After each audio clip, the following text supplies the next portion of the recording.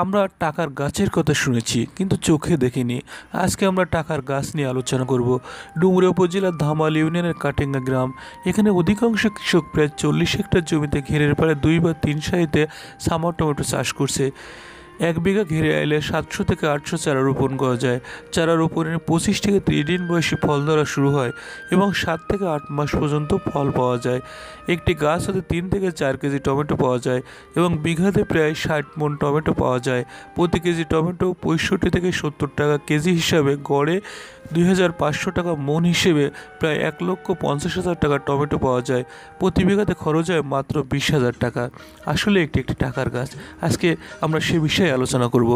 কাটিঙ্গা গ্রামে এখানে প্রায় চল্লিশ হেক্টর জমিতে কৃষকরা আমাদের কৃষি বিভাগের পরামর্শে এখানে গ্রীষ্মকালীন যে অক্সিজেন টমেটো এগুলো চাষ করছে। তো আমরা আমাদের কৃষকদের সাথে কথা বলব। আসলে যে তারা কীভাবে চাষ করছে এবং ঘেরের পাড় যেহেতু, সেহেতু হলো এটা বিষমুক্ত এবং নিচে মাছ আছে। তো আমরা এই মুহূর্তে আমরা আমাদের কৃষক প্রগতিশীল কৃষক, আমাদের সিআইজি কৃষক হান্নান মোল্লা আমরা তার সাথে কথা বলব। জানতে চাই আসলে আপনি এটা কীভাবে করছেন? শুরু করছেন কীভাবে এবং কী কী সার ব্যবহার করেন? এবং এটা হচ্ছে যে আপনি কতদিন পরে হচ্ছে ফল আসে? এবং হচ্ছে যে আপনার এটা যে লাভজনক কিনা? এবং হচ্ছে আপনি কীভাবে বিক্রি করেন? আমি এই সম্পর্কে আপনার কাছে জানতে চাই। বীজ কিনে আনে ফেলাইনের আঠারো বিশ দিন পরে থেকে আমরা সারা ভেড়িতি রুই। রুয়ার আছে সার দিয়ে আছে ড্যাপ সার ব্যবহার করি। ড্যাপ সার এবং ওই পটাশ আছে, পটাশ দিয়ে ওই দিয়ে ব্যবহার করি। ব্যবহার করার মানে আঠাশ দিন, এক মাস বয়সের থেকে আমরা হরমোন ওই দিয়ে ব্যবহার করি ফুলি ফুল ফুটান তো ফুলি ব্যবহার করি, ব্যবহার করলে ওই ফলগুলো দাঁড়ায় যায়, দাঁড়ায় যাওয়ার পরেই আছে, আমরা ভিটামিন ব্যবহার করি প্রোটোদিন আছে।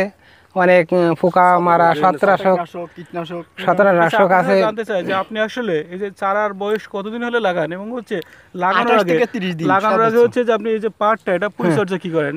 এটা জোন দিয়ে আছে ভেড়ি ঠেড়ি বাইন্দে পরিষ্কার করে তারপরে মান্দা কাটি মান্দা খুঁটিয়ে গর্ত। খুঁটিয়ে ওর ভিতরে সার দিই। সার দিয়ে আর দুই চার দিন পরে তারপরে আছে ওই চারা রুই। চারা রোয়ার পরে ধরো তিরিশ দিন আঠাশ দিন বয়স হয়ে গেলে ওই গাছে ফুল এসে যায়। ফুল এসে যাওয়ার পরে আছে একটা হরমোন আছে আমরা ওই হরমোনটা ফুলই ব্যবহার করি। ব্যবহার করার পরে ফল দাঁড়ায় যায়। ফল দাঁড়ায় যাওয়ার পরে ধরো ওই ফলটা আঠাশ দিন তিরিশ দিন বয়স হলে ফলটা পাক ধরে যায় আর কি। পাক ধরা ধরলে তাই আমরা বিক্রি করি। তবে আচ্ছা আর এই এটা কি বেচতে কোনো সমস্যা হয়? না। এখানে কি পার্টি আসে? নাকি আপনি সরাসরি হলো যে বাজারে নিয়ে যান? না আমাকে এই জায়গায় ডাক আছে ডাকে পার্টি আসে পার্টি দিয়ে আড়টে বিক্রি করি। আচ্ছা আপনি কতটুকু জমিতে করছেন? আপনি আমরা করেছি ধরো এই আছে দুটো মিলিয়ে আছে আমার ছাব্বিশ কাঠা বই আছে। দেড় ছাব্বিশ কাঠায় ষাট শতকের মতন বই আছে। এখানে হচ্ছে যে আপনার কত টাকা খরচ হয়েছে? ষাট শতকে ধর আমার বেড়ি মেরামত করতে হয়েছে বিশ হাজার টাকা আর এই নিজে জোন তো ওটা ধরা পড়ে না নিজেই খাটি। খাটে গাছগুলো পরিচালনা করি আর আর এমনি ওষুধপাতি ধরো আর দশ হাজার টাকার মতন হবে। তাহলে আমার- ষাট শতকে আপনার হ্যাঁ। ত্রিশ হাজার টাকার মতো খরচ হয়েছে হ্যাঁ তিরিশ হাজার টাকার মতো খরচ হয়েছে। বিক্রি করছেন? হয় আমার ধরো এই আজ থেকে আজকে ছাব্বিশ দিন দিন বয়স হচ্ছে ফল উঠোচ্ছে আর কি ছাব্বিশ দিনে আমার এক লাখ এগারো বারো হাজার টাকা বিক্রি হয়েছে আর কি তার মানে হচ্ছে যে আপনার আর- যে টাকা খরচ করছেন সে টাকা উঠেও আরও তিরিশ চল্লিশ হাজার টাকা বেশি আপনার লাভ না না? হ্যাঁ না আশি- হাজার টাকার মতন বেশি হয়েছে আর? এই যে প্রথম ছাপা উঠেছে আর এই যে গাছে ফল দেখা যাচ্ছে না এখন এই ফল ধরো এখন যা আছে এই ফল আছে এসে বেশি বিক্রি হবে আর কি। আচ্ছা জাতটা তো হচ্ছে যে মঙ্গল রাজা জাত। মঙ্গল রাজা হ্যাঁ মঙ্গল রাজা জাত এইটা এখানে কি যে সবাই কি মঙ্গল রাজা করছে নাকি আরও সবাই মঙ্গল রাজা আমাদের বিলি অধিকজন লোকে আছে মঙ্গল রাজা করেছে ভবিষ্যৎ দু একজন বাড়ি এইট বাড়ি ফোর এটা করেছে আর নতুন জাতের একটা বীজ নিয়ে আসা পড়িল ফ্রান্সের বীজ গুবরা কিন্তু গুবরা ফলটা খুব ভালো কিন্তু সমস্যা আছে তলাটা পচে যাচ্ছে আর কি। এটা তো সমস্যা হচ্ছে না এই বাড়ি মানে মঙ্গল রাজার এই সমস্যাটা নাই। টমেট জগতের ভিতর সব থেকে এটাই ভালো মঙ্গল রাজা হ্যাঁ, আমা- আমাকে এই এলাকায় আছে মঙ্গল রাজার ঘরে আর কোনো আচ্ছা, টমেটো আমাকে পাট, না? হ্যাঁ, ঘেরের পাট। হলো যে আসলে যে নিচে মাছ আছে তাই না? তাহলে হচ্ছে যে আপনার এখানে কি বিষ টিষ প্রয়োগ করেন নাকি?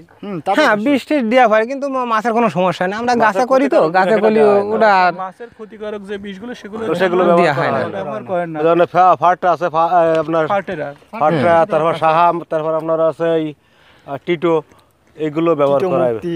মুক্তি এগুলোই ব্যবহার করা আচ্ছা, হয় আচ্ছা, আচ্ছা। যাতে স্প্রে করলে মাছের কোনো মাছের ক্ষতি কোনো না হয়। ক্ষতি নেই আর কি। আরও কয়েকজন কৃষক দেখতে পাচ্ছি যারা এই মুহূর্তে আমাদের সবজি যে টমেটো উঠাই নিয়ে আসছে তো হচ্ছে আমরা তাদের সাথে কথা বলব। মোহাম্মদ আলমগীর হোসেন। আলমগীর হোসেন। আচ্ছা আপনি আজকে কি টমেটো উঠাইছেন না? হয়। কতটুকু টমেটো উঠেছেন? আজকের নয় ক্যারেট বলতে একশো দুইশো কেজির গায়ে। দুইশো কেজির গায়ে তাই না? আচ্ছা এই টমেটো তো হচ্ছে সাদা দেখতে পাচ্ছি তাহলে এটা কি করবেন? না সাদা আইটেম ওটা সাদা আইটে হয়ে গেছে ওর সকালবেলায় রং এসে যাবে। পাকা মাল বেশি চলে না বাইরে ফাটাতে। হয় আচ্ছা এখানে কি কোনো স্প্রে করবেন? না কোনো স্প্রে চলবে না। এটা হচ্ছে বাসায় রেখে দিলে লাল হয়ে যায় অবশ্যই। ওই অবস্থায় রাখা পাকা হয়। ওই সব আচ্ছা। হালকা লাল। যাক আমরা আরেকজন কৃষকের সাথে কথা বলব আপনার নাম কি? আমার নাম মোহাম্মদ নজরুল ইসলাম। মোহাম্মদ নজরুল ইসলাম। তিনি একজন প্রগতিশীল কৃষক এবং আপনার নামে শুনছি আগে ব্যবসায়ী। তো আপনি বলেন আসলে হচ্ছে যে এটা কীভাবে লাগাতে হয়? আহ, তৈরি করে? তারপরে আমরা আছে বেড়ির ফাড়াই আছে চারা পাতায় প্রথমত। চারা দেন?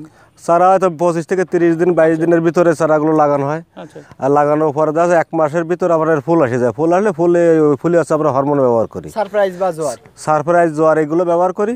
সাথে আমরা গাছ ভালো দুটোই আছে, শুধুমাত্র দুটোই আছে। আর আপনার যখন ই করা হয় তখন এতে টিএসপি পটাশ ব্যবহার করে লা- দিয়ে গর্ত- গর্তের ভিতর দিয়ে তারপরে হয়তো তিন থেকে চার দিন পরে আমরা ভিতর দিয়ে চারা লাগাই। চারা লাগানোর পরে ওই তিরিশ দিন পরেই আছে আপনার ফুল এসে গেলে তখন আমরা এই ফুলি হরমোন স্প্রে করি জোয়ার আছে সানপ্রাইজ সারপ্রাইজ আছে এগুলো ব্যবহার করি। আর হরমোন আচ্ছা, ব্যবহার এটা কতদিন পর্যন্ত থাকে- যে আপনার যেটা এটা আপনার এখন তো আছে না বাংলা মাসে চৈত্র মাস। পর্যন্ত থাকবে এগুলো। চৈত্র মাস পর্যন্ত? চৈত্র মাস পর্যন্ত। চৈত্র মাস পর্যন্ত এটা থাকবে? এই গায়ে এক গাছ থাকবে। থেকে আষাঢ় থেকে চৈত্র পর্যন্ত। অর্থাৎ হলো আষাঢ় শ্রাবণ ভাদ্র আশ্বিন কার্তিক অগ্রহণ পৌষ মাঘ ফাল্গুন কমপক্ষে আট মাস। আট মাস? আট মাস থাকবে। আট মাস থাকবে এইগুলো- এইভাবে থাকবে। নতুন লাগাবেন না? না নতুন আর লাগানো লাগবে না। তাহলে এগুলো যখন এই গাছগুলো যখন ইয়ে যাবে আমরা কাউসি দিয়ে এগুলো সেটে দেবো। সেটে দেওয়ার পরে নতুন আবার আচ্ছা ইয়ে আপনার কাছে জানতে যাচ্ছে আপনার এখানে নিশ্চিত মাছ হয়। হ্যাঁ। কত টাকার মাছ হয় এখানে? আপনার দেখা যাচ্ছে এখানে মাছের চাষ আছে যে যে চাষ আছে যে পরিমাণে। পরিচর্যা করবে। কতটুকু কতটুকু মাছ হবে? কত কত টাকা? এতে প্রায় ধরেন, চিংড়ি দিয়ে সাদা মাছ দিয়ে প্রায় এক লাখ এক থেকে দেড় লাখ বেচা- টাকা। আর পাশে যে হলো যে আমরা সামার টমেটো এটা দিয়ে এতে আপনি সর্বনিম্ন হয়তো দুই দুই লাখ টাকার মতন আসবে। তাহলে হচ্ছে যে আপনার মাছের দ্বিগুণ মাছের থেকে আছে টমেটো দ্বিগুণ। টমেটো হচ্ছে দ্বিগুণ টাকা হচ্ছে যে আপনার টমেটো বিক্রি হচ্ছে, না? তাহলে এটা করা তো লাভজনক? এটা লাভজনক। লাভজনক। এখানে কি সবাই করছে? তা বললাম তো শতকরা আটানব্বই জন আছে আটানব্বই ডেগের একশো গের থেকে আটানব্বই ডেগের চাষ হয়েছে। ও আচ্ছা আচ্ছা আচ্ছা। এটা অত্যন্ত লাভজনক লাভজনক ব্যবসা। আচ্ছা ঠিক আছে। আপনার সাদা গেরের মাছ চাষের থেকে এটা লাভজনক বেশি। লাভজনক। এবং হচ্ছে মাছ হচ্ছে পাশাপাশি হচ্ছে যে আপনারা সবজি হচ্ছে সবজি পাচ্ছেন টমেটো পাচ্ছেন এবং এটা হলো যে এটা উচ্চ মূল্যের ফসল উচ্চ মূল্যের আচ্ছা এবং হলো অনেকদিন ধরে যাচ্ছে। আর এখন তখন এই বাজারে স্থানীয় ইমখান বা বর্তমানে আটষট্টি সত্তর পঁয়ষট্টি টাকা করে কেজি বিক্রি হচ্ছে। আচ্ছা। এবং বেচার জন্য কোনো কষ্ট নেই সকালবেলা উঠে নিয়ে আড়তে নিয়ে গেলে বিক্রির সাথে সাথে। লাভ। আপনি কতটুকু জমিতে চাষ করছেন এবার? আমি এবার মনে করেন ভেড়ি পারে তো এত একটা জমির হিসাবটা আলাদা হয়।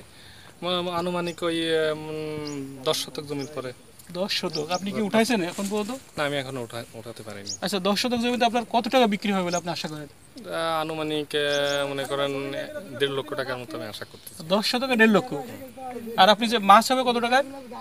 মাছ হবে মনে করেন ঘেরের হিসেবে অর্থাৎ আমার ঘেরটা একটু বড় আছে তাতে বেশি হতে পারে দুই লক্ষ টাকার মতো হতে পারে। ও আচ্ছা।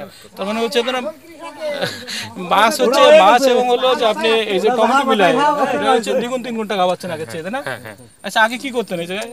মানে ঘের করার আগে মাছ এবং টমেটো যখন ছিল না, তখন কি ছিল এখানে? তখন এখানে এই যে জমিগুলো সমতল ছিল, এখানে কোনো ঘের ছিল না, ওই পরবর্তীতে এখানে আউ সামনে চাষ হতো। আগে ধান হতো আউ সমানের চাষ হতো বছরে দুবার ফসল হতো তাতে মনে করেন এক বিঘা জমিতে ছয় থেকে সাত মন ধান হতো কিন্তু এখন এক বিঘা জমিতে প- পাড়ার ভিতরে জমিতে এক বিঘা জমিতে পঁচিশ থেকে তিরিশ মন পঁয়ত্রিশ মন পর্যন্ত ধান আমরা পাই। ও আচ্ছা অর্থাৎ আপনি এখানে ধানও করছেন তাই না? ধান হচ্ছে মাছ হচ্ছে তার হলো টমেটো হচ্ছে এটা হচ্ছে সমন্বিত চাষ আর কি। মুহূর্তে আমরা আমাদের এই ব্লকের সংশ্লিষ্ট উপসহকারী কৃষি কর্মকর্তা জনাব বর্ণালী জোয়ারদার আমরা তার সাথে কথা বলব। আসলে আপনি কৃষকদের কি পরামর্শ দিচ্ছেন?